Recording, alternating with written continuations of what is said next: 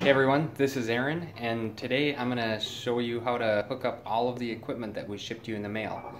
So before we get started, I got just a couple of things I want to mention. Uh, first, all of the packaging material that we received, the boxes, the bubble wrap, anything like that, go ahead and hold on to everything because in the event that something's damaged or it gets damaged in the future, uh, you're going to need that when you ship it back to us and we send out a replacement. Second, uh, we've made it a little bit easier. All of the connections on the equipment you have should be color coded. So for example, green matches to green, blue matches to blue, etc. Uh, so make it just a, a little bit easier for you. Third, at any point in the video, you'll probably need to do this multiple times. Just go ahead and pause it at any point so that you can duplicate exactly what I'm doing each step of the way.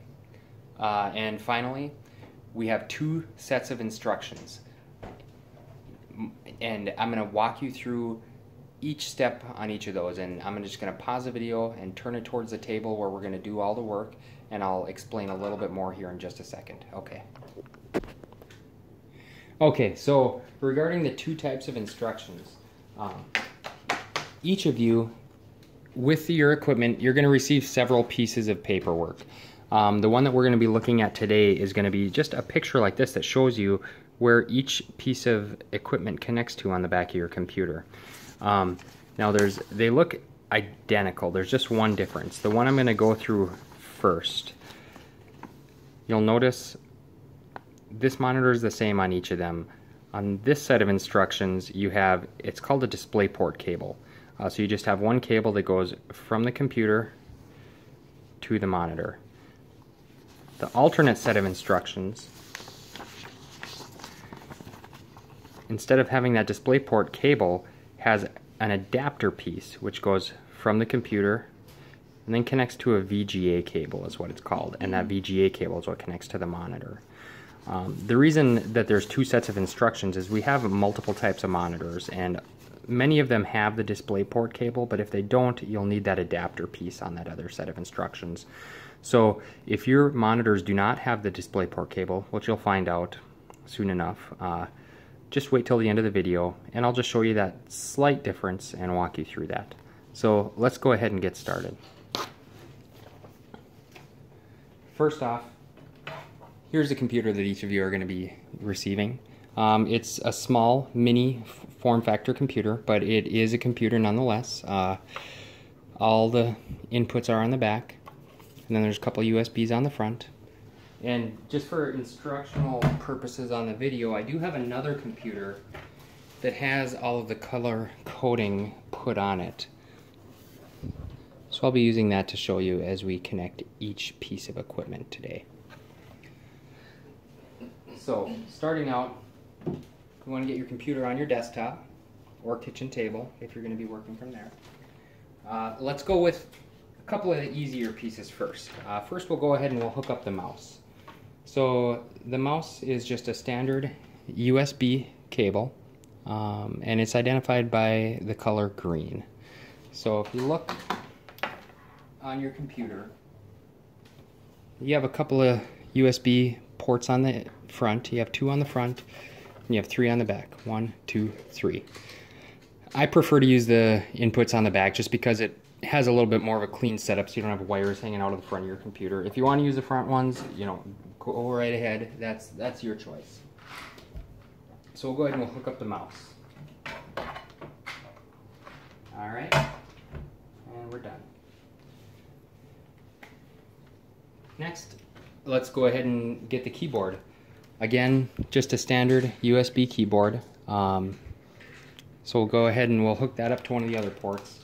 And just a, a simple tip, you'll notice these USB connectors, they have one end, see if I can get it here in view. There's one end, anyways, it's not the greatest view, but one end is solid and one end is kind of open. The open ends always go towards the top, so you don't have to worry about flipping it this way, then flipping it that way. Just put the open end at the top. so let's get that hooked up. There we go. So now we have a mouse and we have a keyboard. Next, let's get one of the monitors hooked up. Now, the first monitor we'll do is going to be the same for everybody regardless of your instructions. So, again, you may have a different make and model of monitor, uh, but for this video we're going to use one of the HP monitors. So I'll just set that down. And for the first monitor, we're going to follow the instructions for this monitor right here. It's the same for everybody. So it's just a VGA cable that connects to the computer and then to the back of the monitor and then a power cable for the monitor. So when you're hooking up a VGA cable, there's one thing to keep in mind, and that is that the connector is it's you're not able to put it in this way or this way. It only goes one way. So the VGA connection is slightly shorter on the bottom side than it is on the top. So you want to find the shorter side of the cable, which is right here, and go ahead and plug that in. And it, you just kind of give it a little push. It's a little bit snug, and you'll feel it. It goes in nice and smooth. And then once it's in, you want to make sure that you screw in each side, right here and right here, of the cable so that it has a nice solid connection. If you don't do that, you're going to get, you know, potentially a blurry image on your computer or it might cut in and out or you might have different colored lines going through it. So you want to make sure that each end is screwed in nice and tight. So let's do that.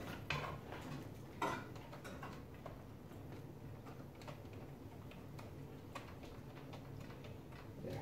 And give it a little tug, you know, you know it's a nice and tight connection. We'll just leave the other end right here for just a moment. Now, the easiest way to get these connections in on this monitor and a lot of ours is to just flip the monitor upside down. Um, that way you have easy access and you can see what you're doing. So because we're going to flip it upside down, I'm going to grab the power cable because it needs both the input cable from the computer to the monitor and it also needs power running from the monitor to the power strip. So I'm going to grab the power cable.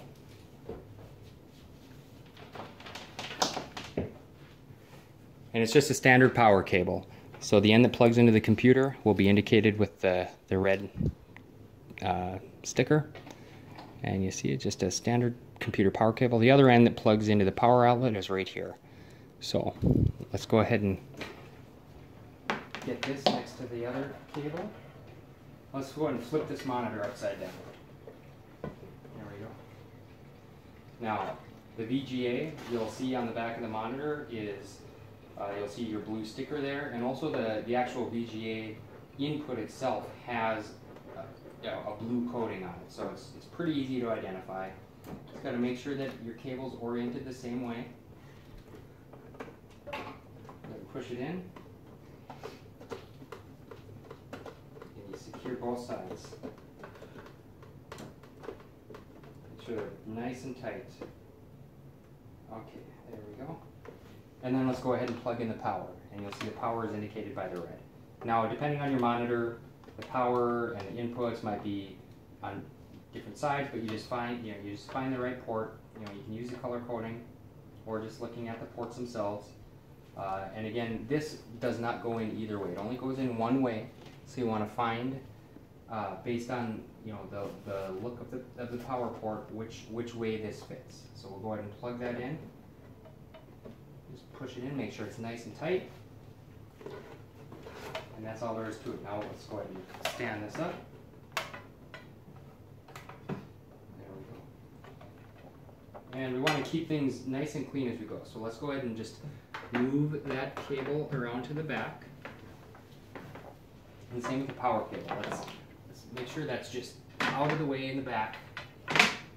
We'll just set it over here the other end for now. All right, now let's get the second monitor connected.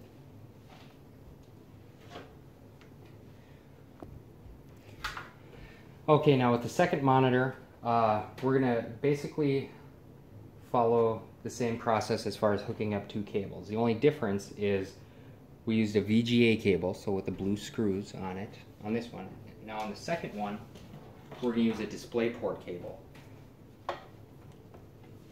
Now here's your DisplayPort cable. It looks kind of like an HDMI cable, except for there's a notch only on only on one side of it, so it only fits in one way. Uh, in the event you ever need to remove that display cable, if you look, there's a little button on the top. You just got to push that in before you pull it out because it, it, it locks itself in there once you connect it. So on the back of the computer, on the back of the computer, you're going to see indicated, see white on white is where the display port cable is and it only fits in one way and I'm, I'm, going to show you this quick. You should be able to hear a little click once it goes in like that. It's subtle but it's there. So just make sure you hear that click when you put it in the back of your computer.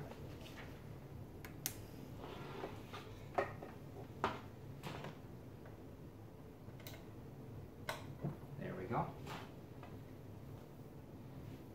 We'll set the one end right here. And again, like the first monitor, we'll go ahead and grab the power cable that goes with it.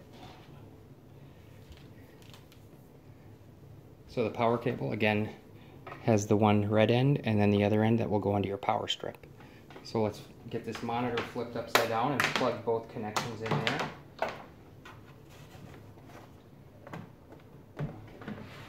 Now on this monitor, the display port cable is right here. So we'll go ahead, make sure that we have it going in the right direction and we'll just listen for that little click. There we go. There. Okay, so now you see, you give it a little tug and you know it's secure. And then let's get the power cable connected. Again, just make sure that is facing the right direction. Give that a nice push, make sure it's nice and snug. Now we can flip this over. There we go. Let's move both these cables to the back, like so. Power cable. Okay. So that's finished. Now let's get the power cable hooked up for the computer. Uh, let me grab that quick.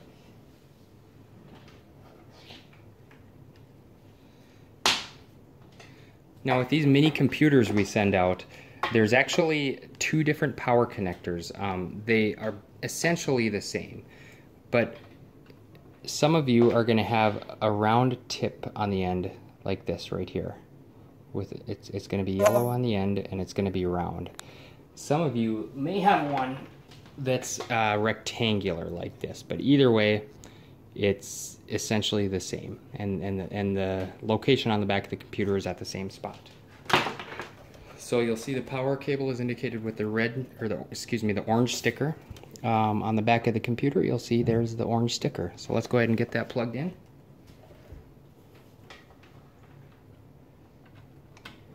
Okay. Now if you follow the cable, what you're going to find is you'll, you'll see that there's a power brick in the middle of it. Um, and this power brick, it does disconnect. So the, the power cable is technically two pieces. So you want to make sure that it's nice and snug. Get it pushed in there nice and tight, as tight as you can get it, just to make sure that there's not going to be any sort of a fault there. And let's move this to the back. There we go. I'll set this right there. Okay, now let's go ahead and power on the computer and both monitors. Uh, you should have all three of your power cables. Now we don't provide your surge protector, but uh, you'll want to have a surge protector. It keeps your equipment safe. It, you know, that way you don't have to run it to multiple outlets or anything like that. Uh, so you'll have your surge protector here. Let's go ahead and plug in one monitor, the other monitor, and your computer. Alright, so now all three of these devices all have the power that they need. And there's only one step left to getting everything finished off here. The last part, now this, this is just a spare router that I have at home, but each of you will have your own router. Typically you're going to rent it from your internet provider. Um, some of you may have purchased your own at some point, but you'll need to run a cable from your router to our computer. Um, so you'll need to have your router available, and then you'll also need an Ethernet cable. It's just a standard internet cable. It's called an Ethernet cable or a Cat5 cable. Um, you can pick them up at any electronics store if you don't have one. But you're going to plug it into the back of your router.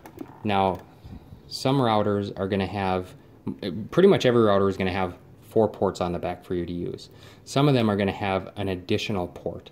Um, if there's a, one port that's colored differently, just simply don't use it. Uh, use only the ports that are labeled 1 through 4. Um, go ahead and just plug in your Ethernet cable into one side of that, and again you'll hear that click too. There we go. And then the other end will go right into the back of your computer. Show you here. So we've labeled that one with, with purple. Um, it's pretty easy to identify. And, and one thing, just in case there's any sort of troubleshooting you ever need, once you plug it in, there's two little lights. There's one in this corner, and there's one in this corner that light up once you have internet running into it. So once you plug the cable in, you should see those light up, and that way you know that there is a connection between your computer and your router. So let's get that plugged in.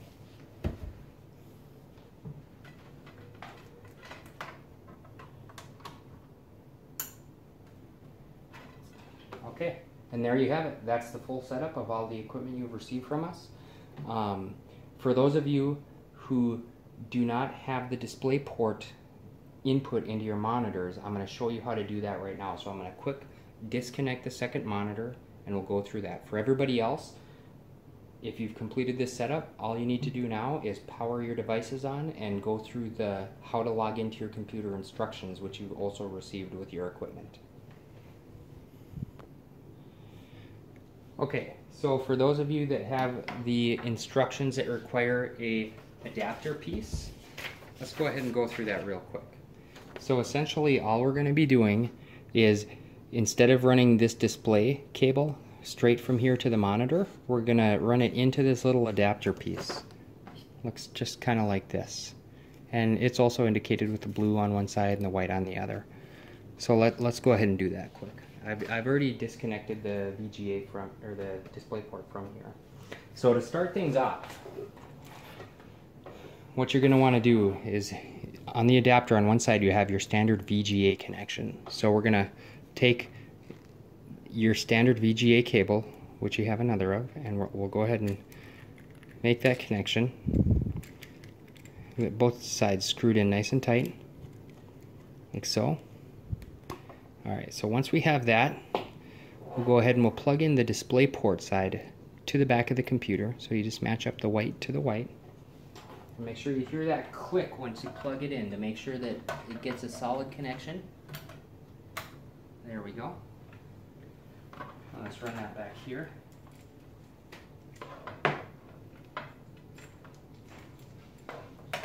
then let's go ahead and flip this monitor around again.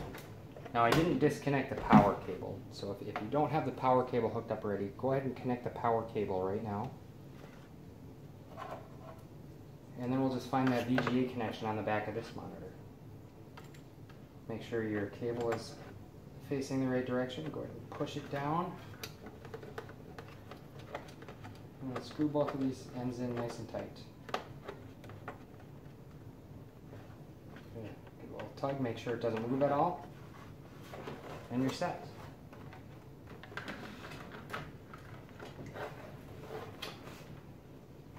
Okay, and now you are also ready to power on your equipment and just go through the login directions that you received with your computer. Um, so just make sure to follow each step of those instructions and you should be good to go. Alright, thanks so much for watching. Bye.